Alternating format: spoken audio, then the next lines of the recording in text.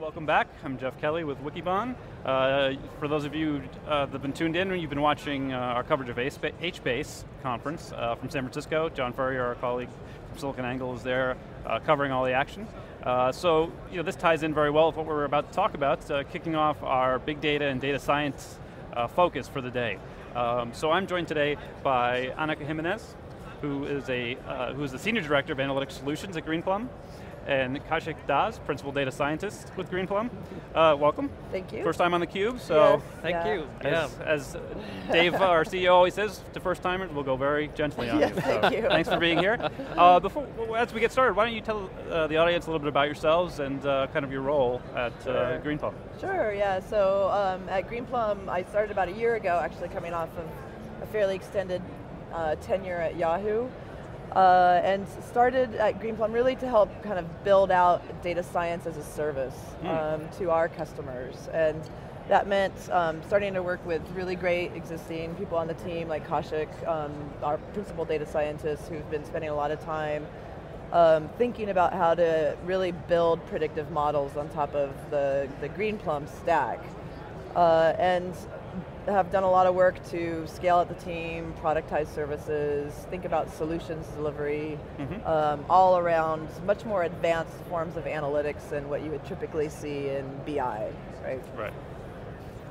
So I've been with uh, Greenplum for a couple of years. You know, that's when um, Greenplum realized that uh, that uh, they have a really nice tool uh, for dealing with big data, but it's um, you know you just can't give someone who's used to working with a knife as power tool and expect them to suddenly start using it. It could be a little dangerous, in fact. exactly. so that's where you know uh, the data scientists like me come in. So you know because um, using Greenplum with big data is not just about answering uh, your questions faster and better, but actually being able to ask new questions. Right. And that's where we come in because you know we see this happening uh, uh, across different customers in different verticals. So we are able to work with the customers and actually um, help them ask the right questions and solve those and give them the right answer. Right, so, y- so you mentioned, yeah, it's about asking questions versus Correct. kind of, you mentioned the more traditional BI approach. Yeah, Uh, contrast that a little bit. Uh, From my perspective, the more traditional approach to BI was much more looking back. Yes, Why did yeah. something happen over the last Right. several months or Right. several weeks or however long?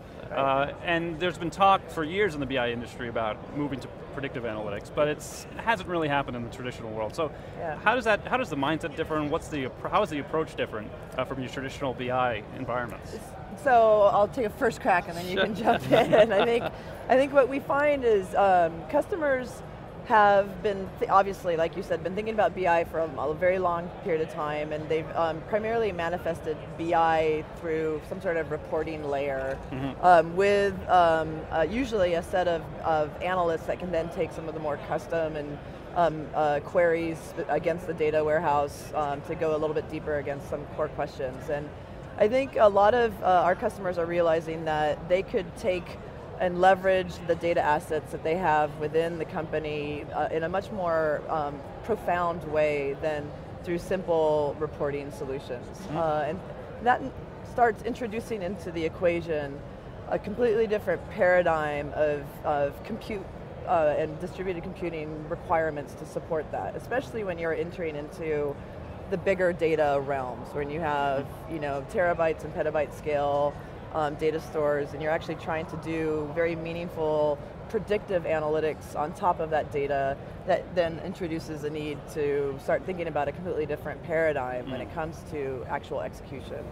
So it's a very different um, kind of workload than what you would see in a more operationalized process around supporting BI. It's development-like, it's exploratory. You know, we're going in and working with the data, answering, asking and answering questions, and maybe going further, all while trying to yield what ultimately is a model that can actually be put into production, right? Um, uh, against some top priority business use case, uh, and of course, like Kaushik said, um, there are just um, you know untold numbers of, of ways that you could apply the data um, from a marketing perspective all the way through to um, risk modeling, um, IT related analytics, et cetera. Right. So you know, one one way of thinking about it is that it's not just asking uh, what happened, uh, at a uh, very deep level of detail. It's actually going beyond that and asking why did it happen. Mm-hmm. Yeah. And then, you know, once you know that, then you can answer the question, how do I prevent that from happening again? Or how do I make it happen more? yeah. Depending on the case. Yeah. So, so you mentioned um, you know your role as kind of data science as a service was just really intriguing to me because Yeah. we, we hear a lot about the kind of dearth of data scientists out there on the market. Yeah. Uh, so walk us through a little bit um, a, a typical customer engagement uh, when you go on site, and and, and Yeah. how does that how does that work when you're I'm guessing in a lot of cases it's engaging with customers that don't have their own data scientists on staff. Yeah, Right. so it's an interesting, we're at this really just fascinating period of time, right? Because I think across all industry or verticals, if you want to think about the vertical markets, retail, finance, healthcare, energy, et cetera, um, we're finding that our customers are just awakening to this understanding of kind of this, there is opportunity and value in the data that they've been cultivating maybe over years. Um, and they're realizing that, again, with the right harnessing on, uh, at, at the compute layer, they can actually extract much more value out of that data than they have in the past. So we very frequently get involved early in the process with the customer. They've they've come to enough of a realization that they want to at least reach out to Greenplum. Um, but very frequently, that quickly manif- turns into a situation where we actually have to walk walk them through almost like a analytical brainstorming session, right? So we actually bring stakeholders to the table. We come to them with a vision for how they could leverage their data. Um, we talk about use cases across the stakeholder communities that they're working with. Um, and we actively work with them to prioritize and assess value of those use cases. Um, and so we do all of that, you know, in an actual engagement that, you know, customers kind of urgently need that kind of support and help. And then of course, once we've done that, they're then ready to start thinking about execution and then we're there to help them with that as well. So is that an on-site uh, No, process, or yeah, do you we guys do actually remote in remote VPN into their Greenplum environment. Of course, once it's stood up in their on-premise in their data center, um, then the whole team can kind of um, do a lot of the work. And of course, the paradigm is we're moving from kind of desktop-based analytics to in-database analytics, Right. right? And so that's where we're able to leverage, Yeah. you know, the billions of rows of data um, in this terabyte, petabyte scale warehouse um, to yield much higher degrees of accuracy and predictive power than ever before. So, uh, Kaushik, are you trying to, when you go into a typical customer engagement, are you trying to uh, essentially, in addition to helping your customers kind of get off the ground with their first implementation, uh, are you also trying to train them to be self-sufficient, or, or is this more of a long-term engagement where you're looking to, uh, you know, build a, a long-term uh, consulting uh, relationship with the, cu- No, with the and as, customer? as I was, uh, that, that's actually a really good question. And as I was, you know, thinking a little while ago, our goal is definitely to teach our customers how to fish, rather than you know uh, continue to be their uh, fish catcher, so to Right. speak.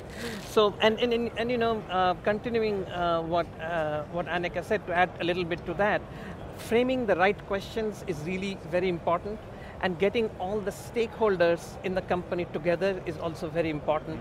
And once that happens, what we do is actually teaching the technology, which actually is uh, not really the most difficult part because it's actually a very intuitive technology. To give you an example, you know, analysts do logistic regression all the time and they're used to doing it on the desktop and something that would take 20 hours maybe before you know so the, you just start the model you go and you come back the next day. Yeah. so with our uh, platform that comes down to minutes you know like a couple of minutes.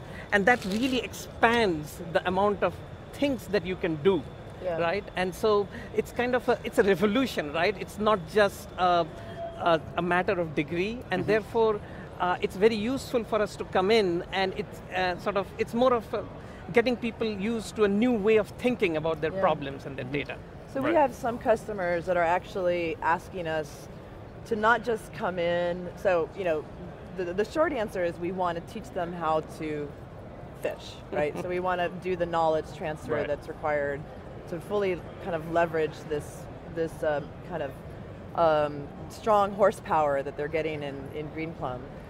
The, um, in, in very frequently what we're seeing now is we have customers that in essence are saying they're committed to data, they're committed to data science and predictive analytics. Mm -hmm. They realize that they have gaps internally, which we're beginning to help them solve for, but they want to get to the point where they actually have what they might call their own data science center of excellence. Right. And very frequently, they need ongoing help from us to kind of help build and operate, and then ultimately, we hope, kind of transfer ownership mm -hmm. back over to the customer. Okay. Uh, so let's dig into some real uh, use case, some examples of some customers you've worked with. What are some of the more interesting uh, you know, kind of engagements you've had that you could share with, uh, with our audience? So, um, like I said, we have use cases across sectors, um, and they can they can range from kind of what is for people who are actually in Silicon Valley and are very used to hearing about data usage in the mm -hmm. digital media space, right? So it could be working with um, ad, um, digital ad performance data, user level um, ad interaction with web content to do profiling of users um, to inform behavioral targeting. Mm -hmm. Those are very common um, use cases. But it goes you know, much further than that, extends immediately into some of the newer areas where you, each of the sectors have their own kind of mini data revolution emerging in terms mm -hmm. of some sort of ubiquitous nature of data. So you have healthcare where you have a regulatory environment that's changing incentives mm -hmm. to now start thinking about much more meaningful outcome-based analytics. Mm -hmm. You know, mm-hmm. looking at treatment of patients through treatment pathways mm -hmm. and understanding if their, their pro, um, kind of progress through those pathways are, is anomalous of some sort or not. Mm-hmm. Which of course then starts enabling you to optimize pathway traversal, identify fraudulent activity, et cetera. Um, and we were going to talk a little bit about one specifically within the utility sector, um, yeah, which is yes. also really interesting. So, you know, in the utility sector, we are working with um, several cases. Uh, particularly, there is one customer of ours, Silver Spring, who are one of the builders of the smart grid, and therefore, you know, they have access to all this data. Every household and business you know how much power they're using every 30 minutes or every 15 minutes. Mm -hmm. So what you get essentially is a pulse of economic activity across a city or a region. And that is very exciting, but going beyond that, now you can answer questions like, you know, how do I prevent a blackout? And it's not just how the blackout happened, where the grid started tripping, but it's also what were the sequence of events that happened before right. the blackout. And then going beyond that, you can now set up Uh, predictive warnings. Like, you know, if that sequence of events seems like it's happening again, let's set up a warning. Let's take action before it can happen and prevent that. And that sort of thing is very exciting. And you know, there are lots of cases like that. It's not just blackouts, it's about theft prevention. Yep. Or if a tree falls, you know, and then you want, you want to know really quickly what has happened so that you can take action, you can send out a crew, mm -hmm. and before this would take a long time to do, and it would be very costly and inconvenient for people as well. But now all that goes away. Yeah. Right, that's some great examples of new use cases that you couldn't do in the traditional BI world where you'd be looking back and you might say, oh, well, we yeah. recognize that this customer basically stole from us two months ago. Well, yeah. guess what, he's long gone. Well, yeah, long it usually took a BI analyst weeks to get access to the data. Mm-hmm. uh, they're right. running some uh, analysis on their desktop and maybe a month or six weeks later they're saying, aha, we found some theft, as opposed to actually getting much earlier in the curve and identifying it even, maybe even in the terms of an outage before it actually happens, mm -hmm. right? Um, yeah. So that's, it's very exciting, that kind of pattern recognition and anomaly detection, mm -hmm. which has applications to a lot of different um, kind of actual use cases right. like theft right. detection, outage prediction, um, uh, treatment optimization, mm -hmm. et cetera, is uh, endemic, it's happening across all the verticals. There's, right. there's an opportunity to apply this notion of pattern recognition mm -hmm across all the different verticals, across different types of data. It's, it's all very exciting. Mm -hmm. In terms of, uh, so certainly across verticals, but are you seeing uh, a lot of interest from maybe the smaller uh, and mid-sized organizations versus the large enterprises? We hear a lot about large enterprises who have the resources and the, uh, a lot of data, uh, but SMBs also have a lot of data. They may right. not have a lot right. of uh, yeah. staff or yeah. revenue, but they certainly have a lot of data and could benefit from from some of these approaches. Are you seeing, um, what's the level of interaction or engagement from that, in the SMB community, and where do you see that going? So I guess I would say, you know, even at the large enterprise level, um, the data science revolution is really just starting. So remember I told you a little bit about how we come in and kind of help them establish a vision. Mm-hmm. I think we are needed for that support because they're really just awakening to the possibilities that are on the table for them. Um, what we're finding is that there are some companies that play very pivotal roles in support of the SMB community that are themselves thinking about how to build analytics as a service to the SMB community. Ah, okay. So you have, for example, credit card tra um, uh, transaction firms, firms that kind of are managing the, the, the processing of credit card transactions. Mm -hmm. You can imagine that that data is very valuable because um, it gives insight down to user level transactions across any sort of um, retail location, you know, and that can scale in size from very, very small to, to much larger, right? Mm -hmm. um, those transactors, those, those companies that kind of manage the process of approvals and denials, et cetera, of credit card transactions, are in a very interesting position to take that data and add analytics on top of it that's very supportive and helpful to the small and mid- mid-sized business community. Mm-hmm. So I think that's where I would see the next logical step. Um, I don't know that I'm seeing a lot of readiness to think about um, advanced analytics from the SMB mm-hmm. community per se. So I think you know, for in, in terms of the SMB community, uh, what needs to happen first is getting just the access to all the data. Mm -hmm. And it's not just the data that they have, which can often be big data, right. but also data that's available out there, which is accessible to exactly, them. Yeah. You know, for instance, for a small retailer, you know, I mean, even for a medium-sized retailer, not Walmart, there is still a lot of information in just the US Census data, right? For instance, and people are still not using that. Mm -hmm. And uh, but this is what I, we feel strongly is going to happen very shortly because technology like ours makes it very easy to access that data. But people are still thinking of the situation a few years ago when it was a lot of work and expense right. even to get that data and look at it. Yeah. Mm -hmm. But that is no longer the case. Right. Yeah. So uh, do you find yourself doing a lot of education in that regard? Exactly. Uh, explaining yeah. some of the possibilities and now the new tools exactly, and, and, hardware, yes. et cetera, advances yeah. that can now, now right. allow you much easier uh, access to storage and compute, et cetera, to start performing some of these yeah. big data analytic uh, yeah, Absolutely, and that's why the brainstorming session that Annika referred to, you know, which often uh, starts our engagements is really important because people might have heard of big data or they might have one felt need but they often don't realize the whole universe of yeah. information and insight that's awaiting them, mm-hmm. right? So I guess you know it's really interesting. We actually had a graphic. I don't know if um, if they're able to, to to highlight it right now, but the idea of this graphic is simply that it is illustrating that big data analytics, we're at this period of opportunity now in the market where any one enterprise can much more centrally harness big data analytics.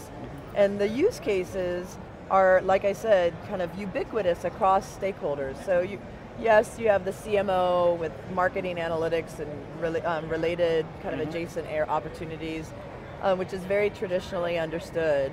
Um, but you also now have the CIO thinking about how to mine IT logs. Right. You have the CFO thinking about risk and compliance and much more robust models for risk than they've ever had been able to achieve in the past. You have the COO thinking about call center optimization and um, prediction of, of um, the nature of incoming calls and routing them appropriately to minimize um, um, resource constraints, right? So I think there's the, the ubiquity of use cases across, uh, against the available data is, has grown to the point where the opportunity for a company is to actually use data as a source of competitive advantage. Mm -hmm. Um, and when we're having conversations with companies in this brainstorming session or even just casually, uh, in the past year, you know, there's been numerous situations where you can almost physically see the light bulbs going off in their heads, you know, when mm-hmm. that aha moment. Yeah, you. It's like it's it's crazy. It's it's what makes our job really fun, you know, because we're actually trying to be a little bit of the catalyst to that. But um, but it's definitely happening more and more. Um, and, and you know the most important ingredient really is the willingness and on part of the organization um, to believe that they want to make their organizations ready for predictive analytics. And if that willingness is there, then uh, the rest everything falls into place because all the other pieces are already available. Exactly, yeah.